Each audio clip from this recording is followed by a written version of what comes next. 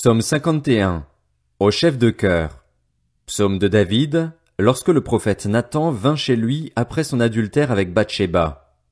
Ô Dieu, fais-moi grâce conformément à ta bonté. Conformément à ta grande compassion, efface mes transgressions. Lave-moi complètement de ma faute et purifie-moi de mon péché, car je reconnais mes transgressions et mon péché constamment devant moi. J'ai péché contre toi, contre toi seul, j'ai fait ce qui est mal à tes yeux. C'est pourquoi tu es juste dans tes paroles, sans reproche dans ton jugement. Oui, depuis ma naissance, je suis coupable. Quand ma mère m'a conçu, j'étais déjà marqué par le péché. Mais tu veux que la vérité soit au fond du cœur. Fais-moi connaître la sagesse dans le secret de mon être. Purifie-moi avec l'hysope, et je serai pur. Lave-moi, et je serai plus blanc que la neige. Fais-moi entendre des chants d'allégresse et de joie, et les eaux que tu as brisées se réjouiront.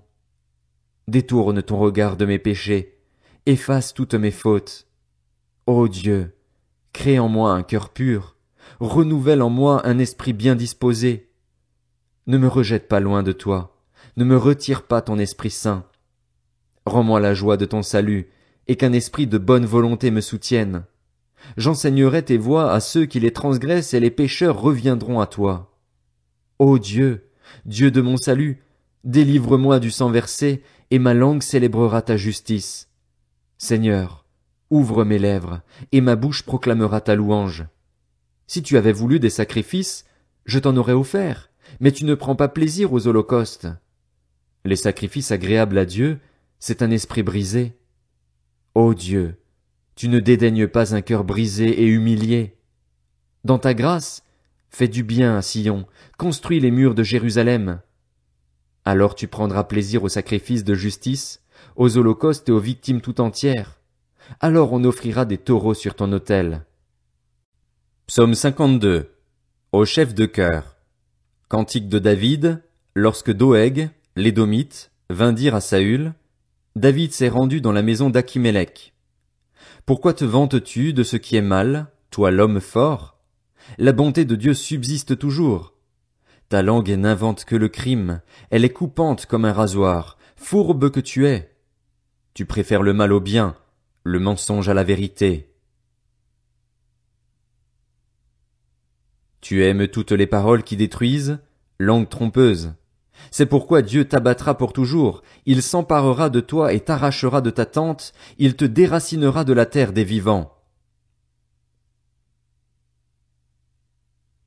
Les justes le verront, ils éprouveront de la crainte, et ils se moqueront de lui. Voilà l'homme qui ne prenait pas Dieu pour protecteur, mais qui se confiait dans ses grandes richesses et cherchait refuge dans sa méchanceté. Mais moi, je suis pareil à un olivier verdoyant dans la maison de Dieu, je me confie dans la bonté de Dieu pour toujours et à perpétuité. Je te louerai toujours pour ce que tu as fait. Je veux espérer en ton nom, car tu es bon envers tes fidèles.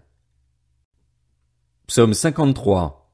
Au chef de chœur, sur la flûte. Cantique de David. Le fou dit dans son cœur, Il n'y a pas de Dieu. Ils se sont corrompus, ils ont commis des injustices abominables. Il n'y en a aucun qui fasse le bien. Du haut du ciel, Dieu observe les hommes pour voir s'il y en a un qui est intelligent, qui cherche Dieu. Tous se sont détournés, ensemble ils se sont pervertis. Il n'y en a aucun qui fasse le bien, pas même un seul. Ceux qui commettent l'injustice n'ont-ils aucune connaissance? Ils dévorent mon peuple, ils le prennent pour nourriture, ils ne font pas appel à Dieu. Alors ils trembleront d'épouvante sans qu'il y ait de raison d'avoir peur. Dieu dispersera les eaux de ceux qui t'assiègent. Tu les couvriras de honte, car Dieu les a rejetés. Oh. Qui accordera depuis Sion la délivrance à Israël?